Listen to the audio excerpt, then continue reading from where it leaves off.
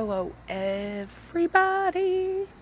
That's not on my YouTube channel anymore.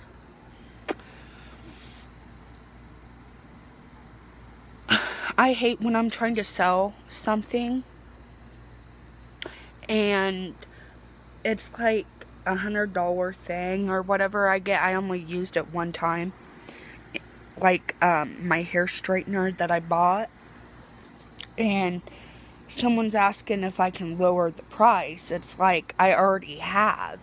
I paid $150 for the hair straightener and you want me to lower the price even more? It's just crazy that people always try to lowball me when I'm selling high end products. As if I don't know about about it. Just saying. Hey Brittany, how do you feel if somebody would ask you to lower a price on a thir- $130 um, hair straightener? Would you be pissed? no. Not on sale site.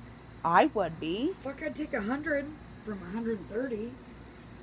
I have it. I had it for seventy dollars on there, and she asked me to lower the price.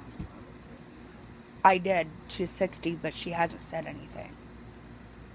It just annoys me to the fact I know it's an expensive hair straightener, and I know she knows because she's into makeup just like I am. So, or you know, high end products, and to lowball me is a little bit ridiculous.